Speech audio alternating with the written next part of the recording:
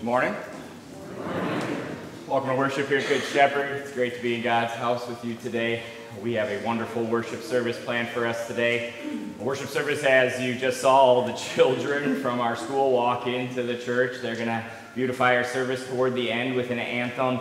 We have our musicians up front here. They're going to be beautifying our service throughout and praising God. So thank you for everything that the children are going to do, that you musicians are going to do here for us today, and, and praise God for us today, too. Uh, we are blessed today's service. We don't only have one sermon, uh, we have three sermons. So you guys are all being treated today, triple specially. We also are celebrating Mrs. Melberg for retirement. Uh, thanks to God for her ministry, for what she's done for the children of this school for so many years. We are thanking God for the servicemen and women who have served our country, who have given us freedoms. We're thanking God for summer to be here. It's just going to be a wonderful worship service, so it's wonderful to be in God's house with you all today. Let's praise and thank God together and, and worship Him for what He does for us. He gave us Jesus, He gave us His love, He gave us heaven. And it's wonderful to be here with all of you today to celebrate that. So let's join our voices and our hearts together and, and praise God together today. Let's uh, open our service with our opening hymn Christ is our cornerstone.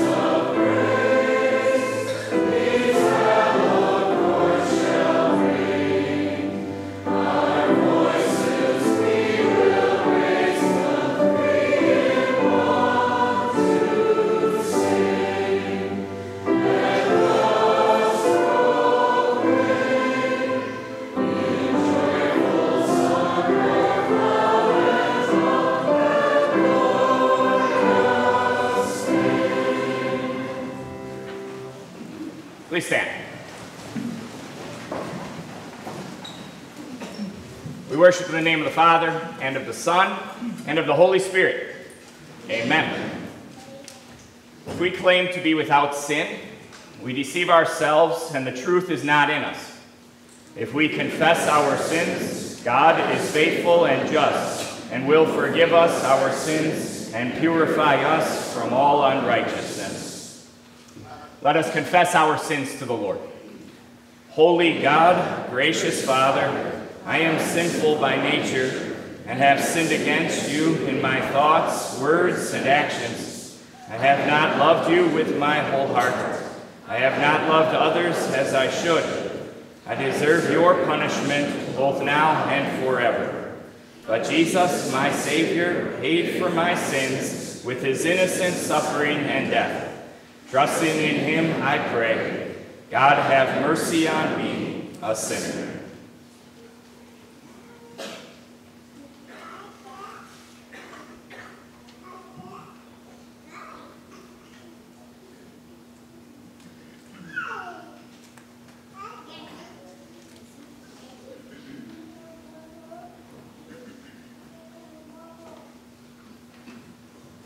Our gracious Father in heaven has been merciful to us. He sent his only Son, Jesus Christ, who gave his life as the atoning sacrifice for the sins of the whole world. Therefore, as a called servant of Christ, and by his authority, I forgive you all your sins. In the name of the Father, and of the Son, and of the Holy Spirit. Amen. In peace, let us pray to the Lord. Lord, have mercy. For the peace from above and for our salvation, let us pray to the Lord. Lord, have mercy. For the peace of the whole world, for the well being of the church of God, and for the unity of all, let us pray to the Lord. Lord, have mercy. For this holy house, and for all who offer praise, let us pray to the Lord. Lord, have mercy. Help, save, comfort, and defend us, gracious Lord. Amen. May be seated and we'll sing together. This is the Feast of Victory.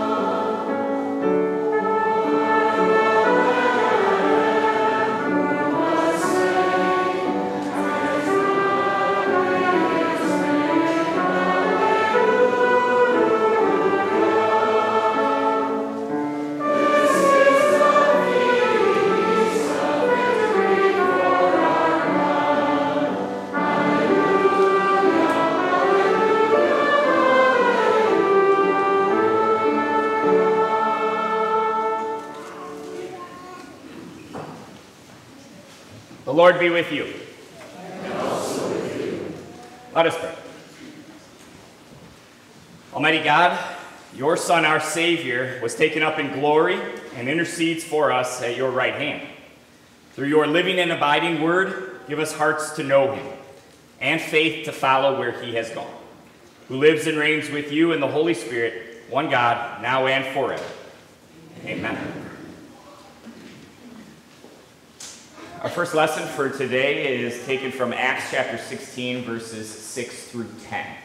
It says this Paul and his companions traveled throughout the region of Phrygia and Galatia, having been kept by the Holy Spirit from preaching the word in the province of Asia.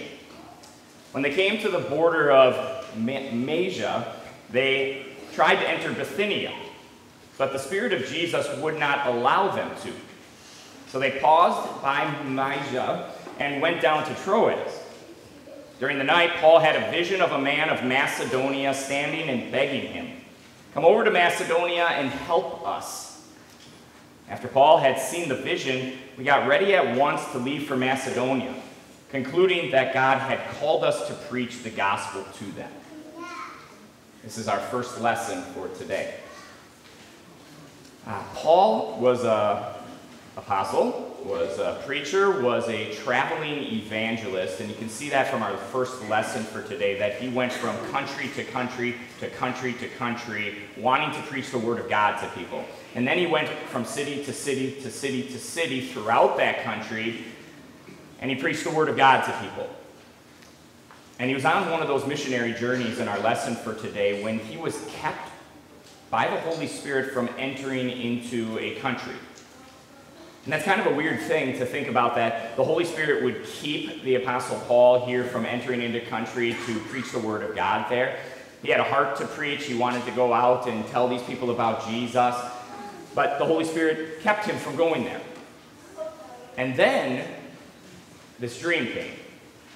This dream came to him and said, From a man of Macedonia, help us. Help us. And so he took that as a call from the Holy Spirit, which it was, and he went to Macedonia, and he went and preached from town to town to town. And guess what he preached? The Word of God to people.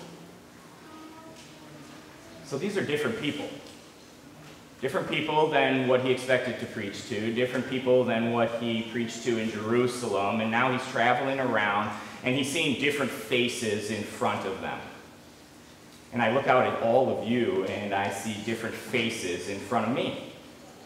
And I see people from different areas, even people from different churches that we have visiting with us today, probably because our kids are singing and to celebrate Mrs. Melberg. Different people. And Paul was in front of them, as I'm in front of you here. And yet, no matter who was in front of him, he preached the same thing the Word of God to people. And whoever was in front of him, whatever face, whatever country, whatever they looked like, whatever church they went to, that message rang out that he was there for one specific reason to share with them Jesus. And that's what Paul was doing here in our lesson for today.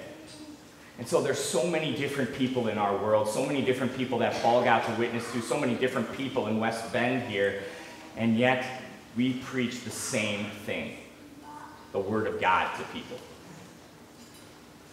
And they so desperately need it. And we so desperately need it. Help us, this man from Macedonia said. Help us. To shout out the word help means that you're in trouble. To shout out the word help means that you're having a very difficult time and you can't get through it on your own. This world that we have is full of sinfulness that's inside of us, sinfulness that reigns, things that are trying to take us away from God, things that are trying to pressure us and rip us away from Him. And all we can do with that when we notice that and when we see inside of ourselves sinfulness to take us to hell, help us. Help us. And we shout that out today, like this man from Macedonia did, because we need help. There's no way we can get to heaven on our own. There's no way we can get through this world on our own. There's no way we can do it by ourselves. We need help. And I loved what he preached. He preached the Word of God, but it describes it a little bit better right toward the end of our lesson. God had called us to preach the gospel to them. The good news about Jesus and what he came to do. So there's us saying, Help us. And there's the gospel saying, I have. Here's my son Jesus, who helped you with your individual sins inside of yourself all the things you've ever done wrong, all the things that are pulling you farther and farther down, away from God, He's grabbed onto you with the gospel, the good news of Jesus. And what is that gospel? It's the word about Jesus. He grabbed you and He pulled you back. And yeah, all different. All different people here, all different people that Paul preached to, and yet the same gospel that we so desperately need the gospel that Jesus loves us and He helped us. And we celebrate that gospel and that word today. Amen. Let us now sing together our hymn, Thy Strong Word. Thank you.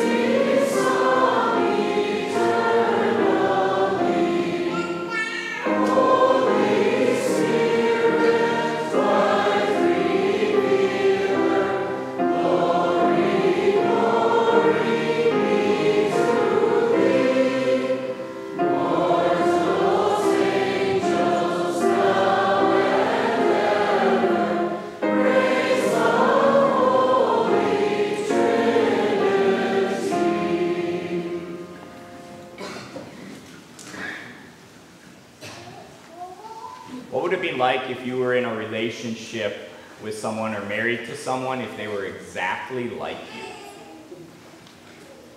Exactly like you. You say, Where should we go for dinner? And both of you at the same time, Chili's.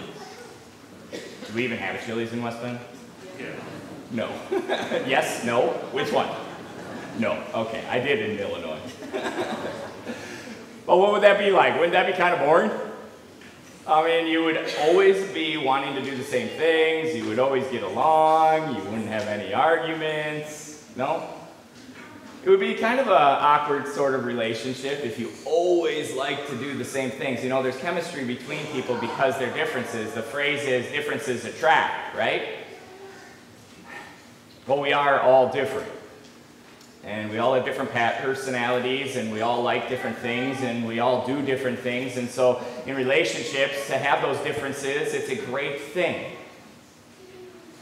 And yet, in a couple, in a relationship, in a marriage, even though there's two different people, one person likes Chili's, the other person likes Applebee's, even though there's two different thoughts about this or two different thoughts about that, a marriage, you come together in unity and you join together and you share that same wonderful relationship of a man and a woman that God has blessed. And that's the wonderful blessings of a marriage companionship, coming together for goodness to happen, for joy to happen. And so, two different things coming together for a wonderful unity together. We're all different. And yet, God has brought this wonderful faith inside of our hearts, which connects us.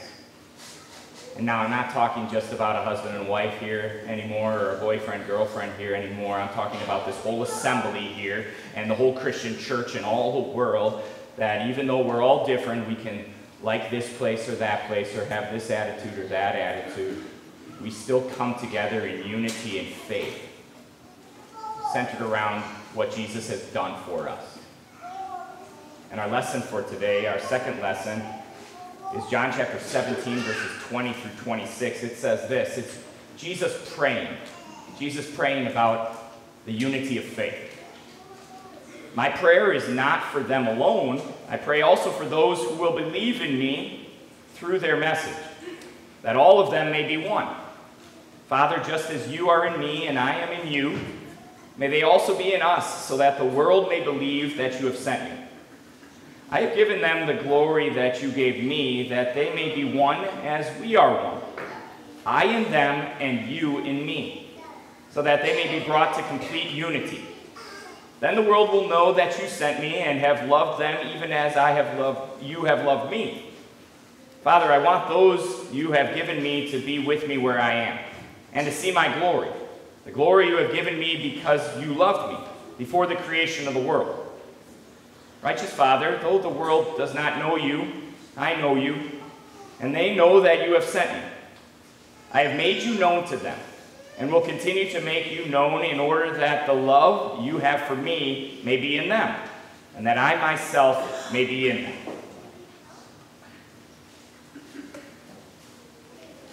There's a Canadian who talked about this phrase, a global village. A global village is kind of a unique phrase, global village. That means that everybody in all the world, no matter where you live, can be all together at the same time. And the one thing that brings this global village together is technology.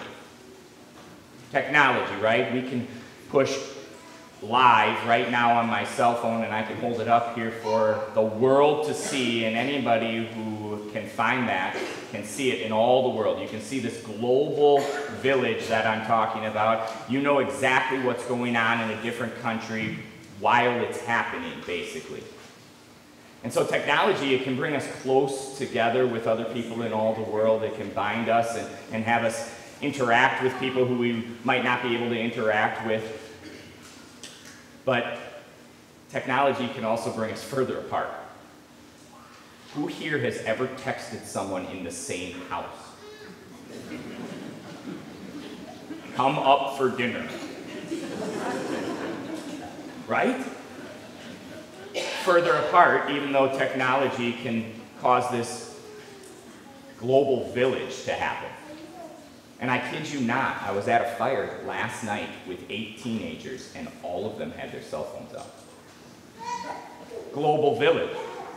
And yet, we can be so far apart from one another. And speaking of marriages, as you sit home at nighttime, how often is your cell phones in your hand?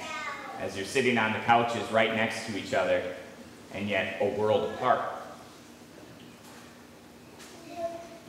So, what does this mean?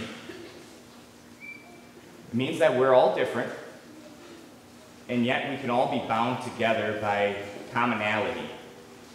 And technology in this world can cause that to happen with the Word of God.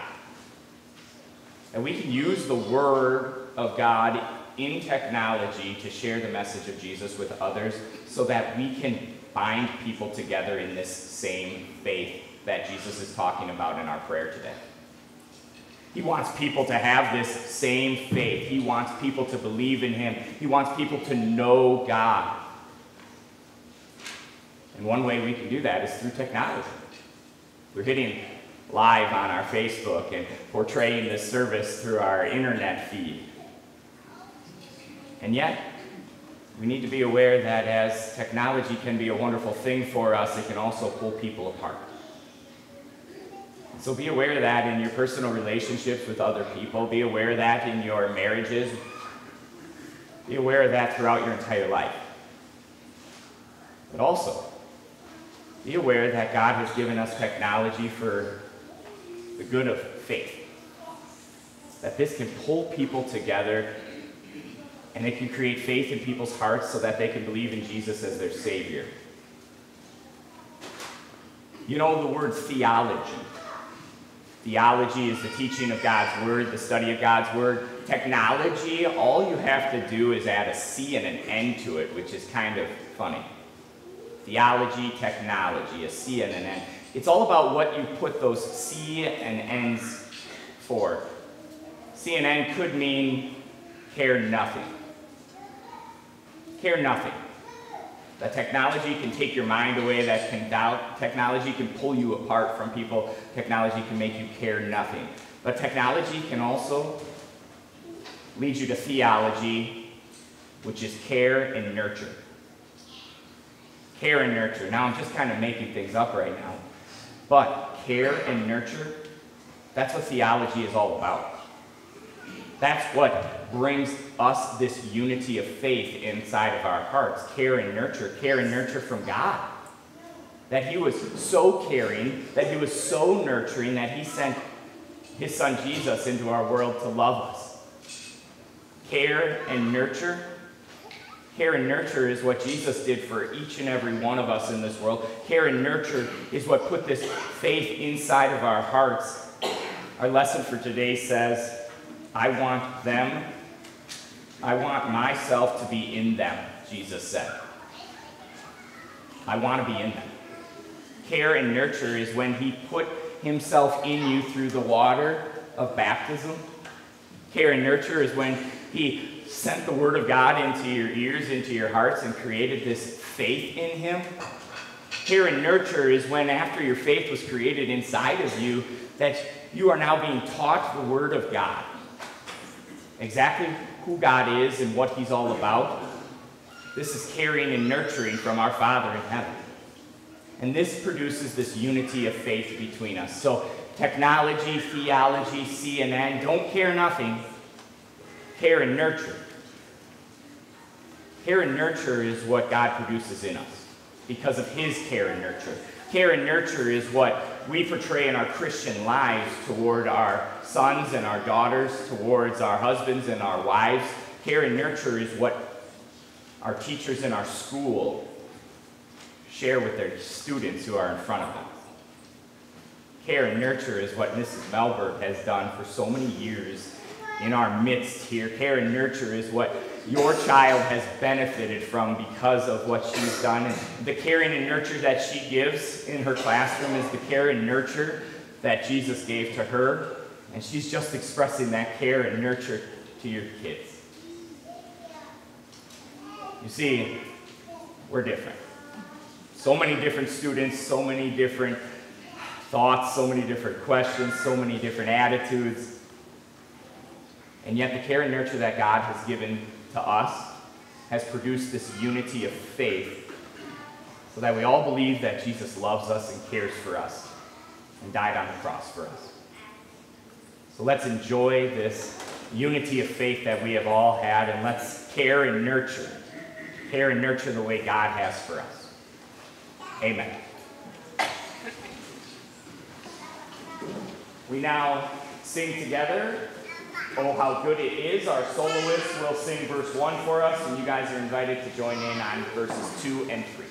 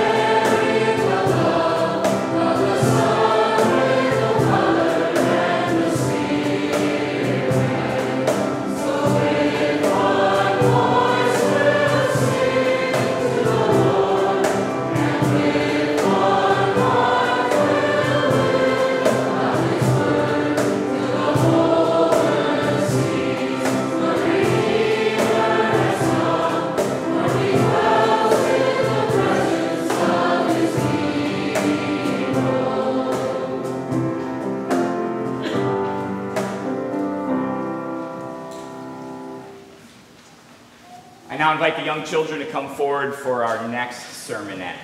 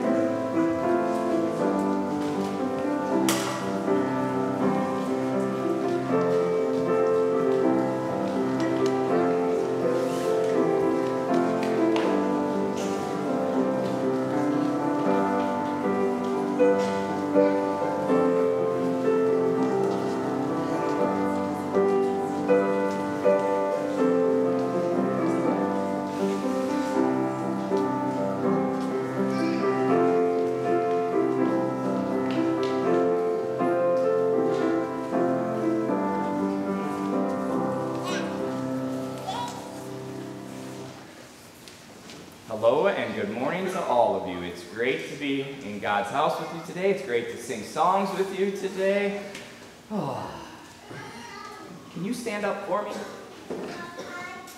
Thank you. Can you stand up too by him? Oh, your dress stuck. go. Who's taller? Who's shorter? Who has longer hair? Do you have longer hair than him? Yes. Who has bigger ears? Yeah, I think you do too, judging by that. That's good. Can you wiggle your nose? You can't really wiggle your nose. She can wiggle her nose pretty good. I like that. Who has a dress on?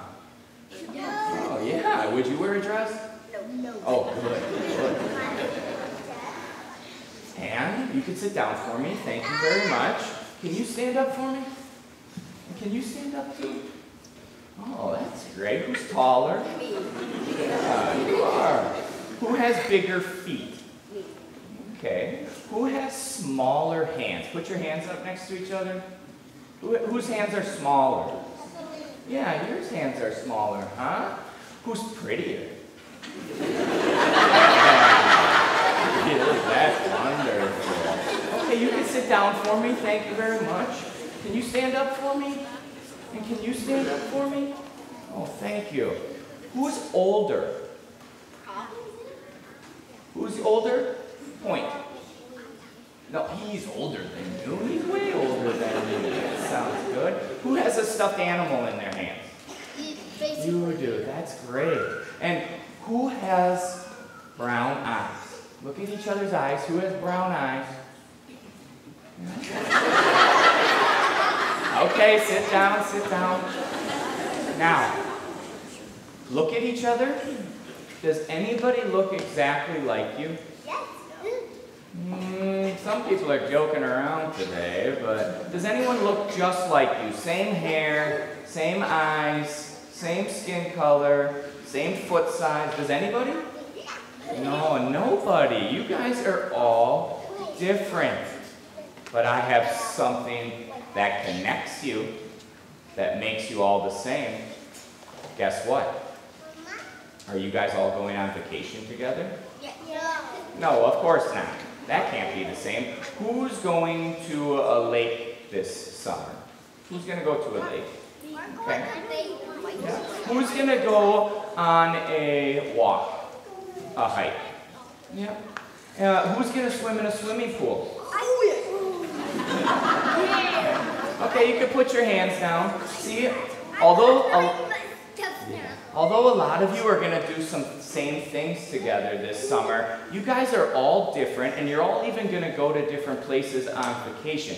But there is one place where you guys are all going to go, and that place is heaven. That place is heaven, and heaven is this most wonderful place, and heaven is the best place. And our next lesson from God's Word today says this it's Jesus coming. It says this Jesus is speaking through the Word of God. It says, Look, I am coming soon. My reward is with me, and I will give to each person according to what they have done. I am the Alpha and the Omega, the first and the last, the beginning and the end. Blessed are those who wash their robes, that they may have the right to the tree of life and may go through the gates of the city. Outside are the dogs, those who practice magic arts, the sexually immoral, the murderers, the idolaters, and everyone who loves and practices falsehood. I, Jesus, have sent my angel to give you this testimony for the churches. I am the root and the offspring of David and the bright morning star. The Spirit and the bride say, Come. And let the one who hears come. Let the one who is thirsty come, and let the one who wishes take the free gift of the water of life. That just said that Jesus is going to come soon. When Jesus went to heaven, he says, I'm going to come back and I'm going to take you to be where I am. Where is Jesus? In heaven. When you hear that Jesus is coming back soon, how does that make you feel? Does that make you really happy? But what if Jesus comes back when you're not doing something nice? What if Jesus comes back when you're being naughty during a children's sermon? what if? Does that make you a little scared? We all do bad things, don't we? In our Bible verse that we just read, there was some bad things that people did in that lesson too, and sometimes we do bad things by not listening. Sometimes we do bad things by, by hitting others and hurting other people's feelings, by not sharing our toys, by not listening to our moms and dads. And what if Jesus comes back when we're doing those bad things? We don't have to be afraid because our lesson said he has washed us and made us white robes. There was a time in your life where you went at this baptismal font. Sometimes it has water. And that water, connected to God's Word in the name of the Father and of the Son and of the Holy Spirit, washes all the bad things you've done away. And it makes you a child of God. It makes you a child of God, and it says you're forgiven from all the bad things you do, all the times you haven't listened during a children's sermon. My son. All the times you've said naughty words, all the times you haven't been nice to your brothers or sisters. At your baptism, all those sins were washed away and you were made God's child. So when Jesus says, I am coming soon, you can be so happy that he's going to take you home to heaven. Now, our lesson for today also said that it's going to be like this. It's going to be a free gift. Who wants a gift? You guys like presents? It's a free gift. Jesus is going to give us a gift when he comes back, and that's the gift of taking you all to heaven. It also says this He's going to give you a reward. A reward's a good thing. A reward sometimes is money. A reward sometimes is candy. A reward sometimes is McDonald's Happy Meal. Well, this reward, this reward is heaven with Jesus forever. And this reward is so good, and you get to be with Jesus because he loves you so much. And so, even though you guys are all different, some are tall, some are short, some have little feet, some have big feet, some are handsome, some are pretty. Even though you're all different, you guys are all going to go to the same place, and that's heaven. And there's one more line I want to mention. Stay seated, watch this. There's one more line. It says in our lesson that you are going to be able to go through a gate. When you go to heaven, it's like you get to go through the gates of heaven. And do you see this? This can be like a gate, right? And so when you walk back to your pews, I'd like you to walk through here. Walk through here because you know that you're going to go to heaven one day because of what Jesus has done for you and how much he loves you. Can we say a prayer first? Dear Jesus, thank you for what you've done for us. Thank you for making us different. It's so much fun to be different, but thank you that we all get to go to the same place of heaven because Jesus loves us and he's forgiven us. Amen. You can stand up and walk through the gate on your way back. And we can play some music while that happens.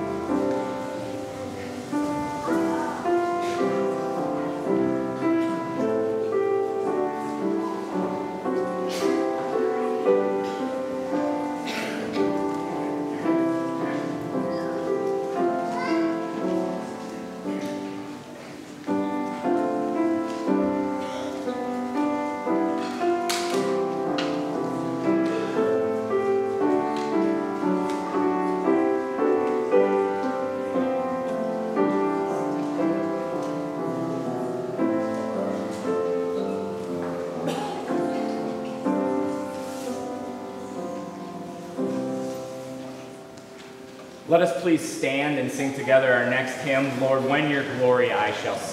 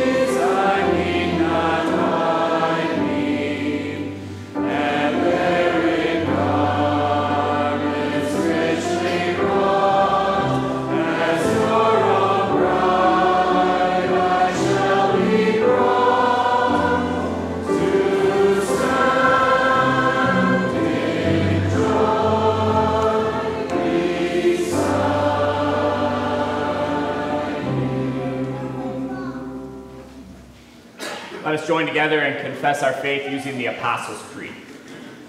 I believe in God, the Father Almighty, maker of heaven and earth. I believe in Jesus Christ, his only Son, our Lord, who was conceived by the Holy Spirit, born of the Virgin Mary, suffered under Pontius Pilate, was crucified, died, and was buried.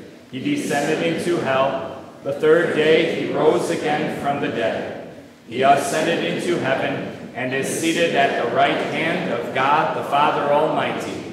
From there he will come to judge the living and the dead. I believe in the Holy Spirit, the holy Christian church, the communion of saints, the forgiveness of sins, the resurrection of the body, and the life everlasting. Amen. You may be seated as we collect our offerings. I invite everyone to sign a welcome worshiper card. One side's for our members, the other side's for our guests, and you can pass them to the diagonal aisle.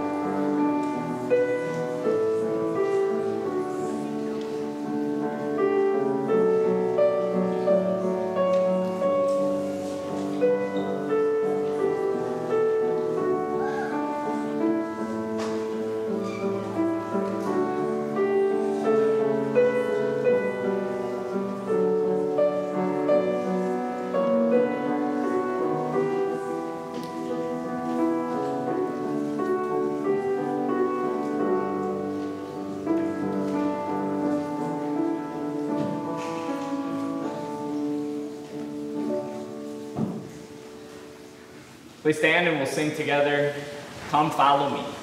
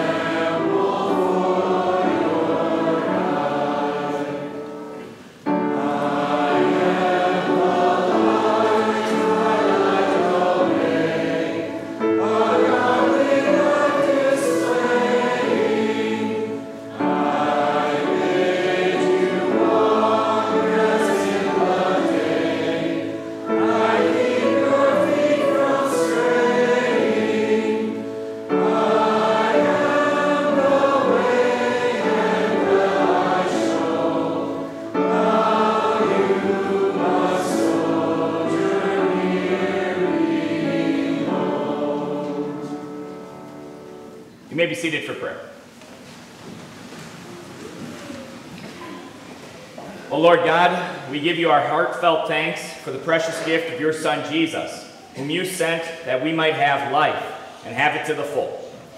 For this great salvation, for our deliverance from sin, death, and the power of the devil, and for the sweet hope of heaven, we glorify you, O Lord God. Bless the church, and let it be, both here in this congregation and everywhere, a loving union of people in faith and good works. We ask that you especially keep us close to you and each other during these summer months, so that your name will be glorified both now and forever.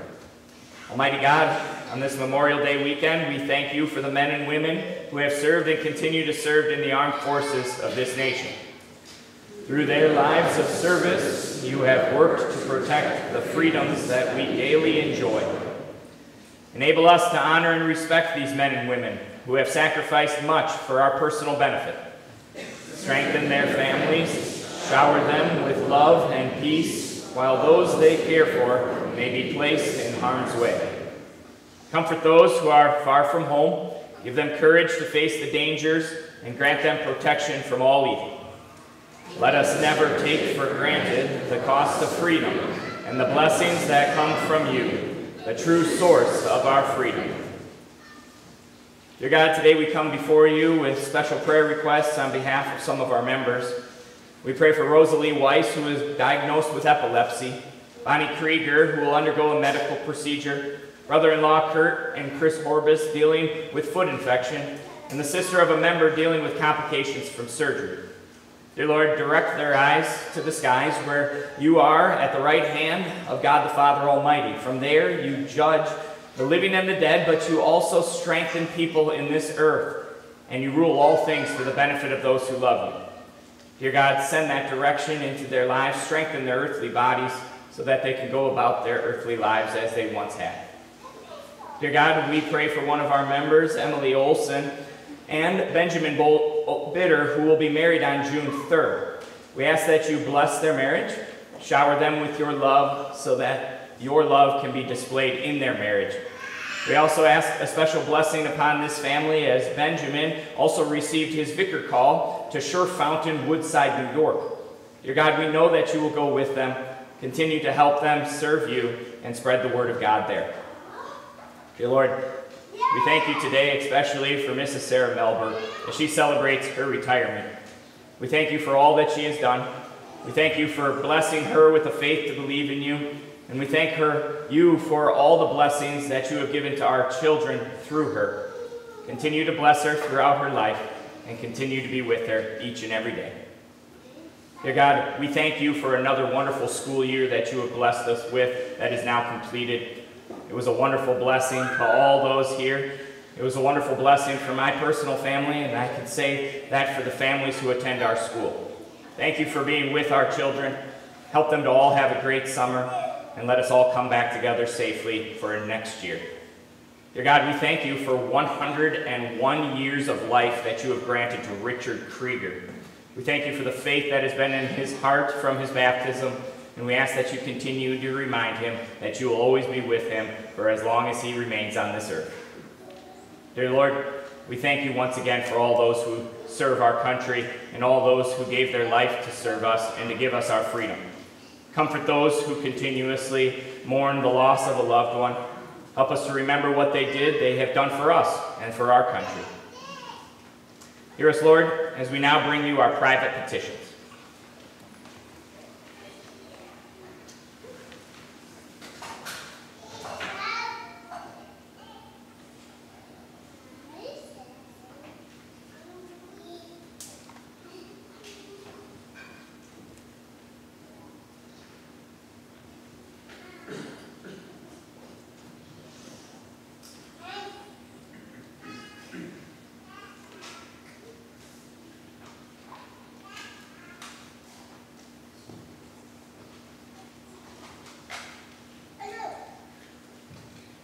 Now, O Keep us steadfast and always abounding in your work, that we may know our labor is not in vain.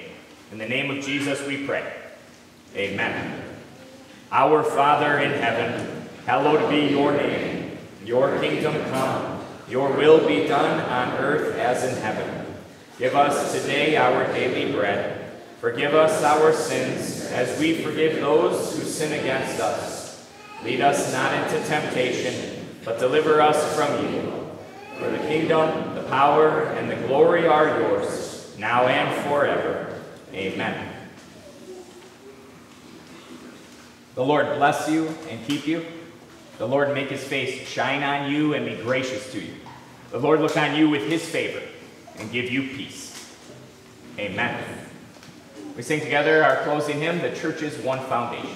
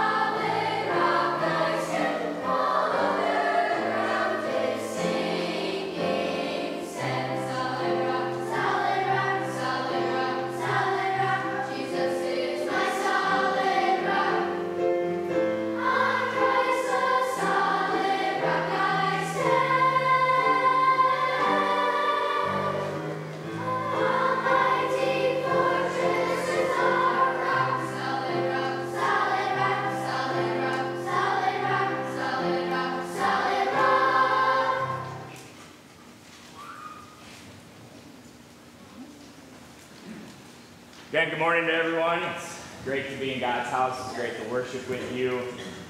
Special welcome to the visitors that we have with us. Great to have you here. Great to hear the children sing. Children, thank you for beautifying our service. Thank you for our musicians and our soloists. And thank you, everyone, for being here. It's great to worship God with you. And a thank you to Mrs. Melberg especially. And, during, uh, during our normal Bible study hour in between services, we will have a reception for Mrs. Melberg and, celebrate her retirement. Not that we're happy that you're leaving, but uh, that we rejoice with you that you have served God and served our congregation and, and our students for so long. I, I haven't known you very long, uh, six months maybe, um, but I can, I can tell you are a great teacher. And uh, not only that, but you uh, blessed my family instructed one of my own children uh, this, this year. And uh, for that, I'm, I'm grateful. You made her feel welcomed. You made her comfortable. You brought joy to her. You educated her. Uh, and you brought her Jesus. And if I'm saying that after six months, I don't know what all these people. You guys have been blessed. Blessed to have Mrs. Melberg in our school. And so thank you for everything that you have done. And God continue to bless you. And I invite Nate Karst to come forward to speak to us.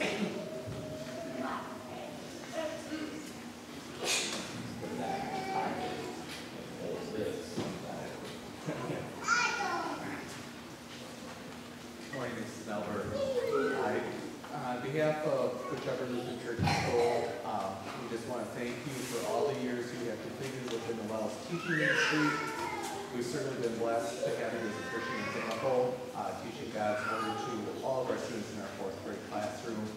Um, and you're certainly going to be missed. Um, I just wish you the best as you enter retirement, to spend more time with your husband and your family, and to show our appreciation, I would like to present to you from the church and school a card gift. Yeah, well, thank you, sure. I don't know if you like to say anything. Okay, sure. Just hold it up. I used to talk to fourth grade. I can talk to them all day. but um, over gratitude.